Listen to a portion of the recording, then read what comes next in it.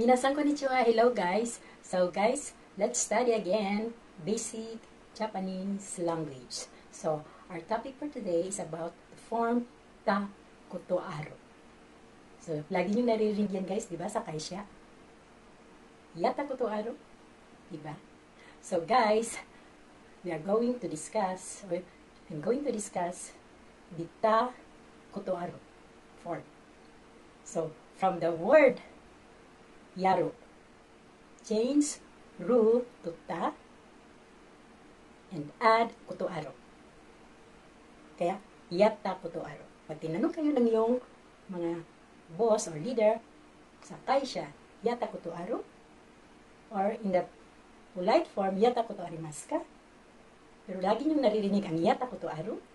So meaning, in Tagalog, nakagawa ka na ba niyan noon?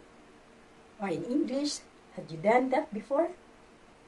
So, kung wala pa guys, ang reply or sagot nyo is nai des or arimasen.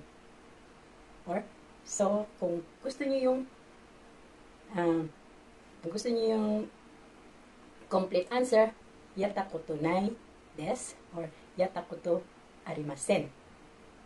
So, if positive naman ang yung sagot, i, your, your, your reply must be, Hi, aru-aru. Di ba? Ganun yung sagot naman.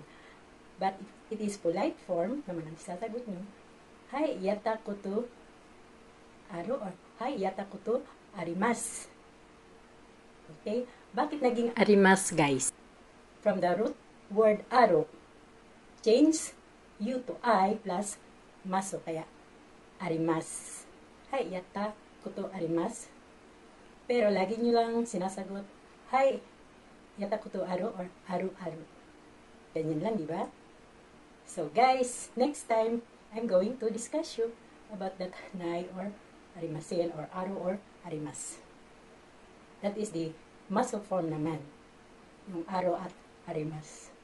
Or nai or arimas. Ang nai kasi guys is a plain form. So let's study it next time. Bye for now and please don't forget to subscribe and hit the notification bell.